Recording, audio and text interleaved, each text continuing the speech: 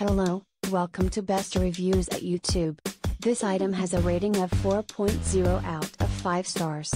A customer wrote, This is my first pair of false eyelashes so I had some trouble getting them on. They seem nice, flexible, but the line where the glue goes was pretty much non-existent. Also, the glue came out very liquidity and in big drops. Thank you for watching. Please give the thumbs up.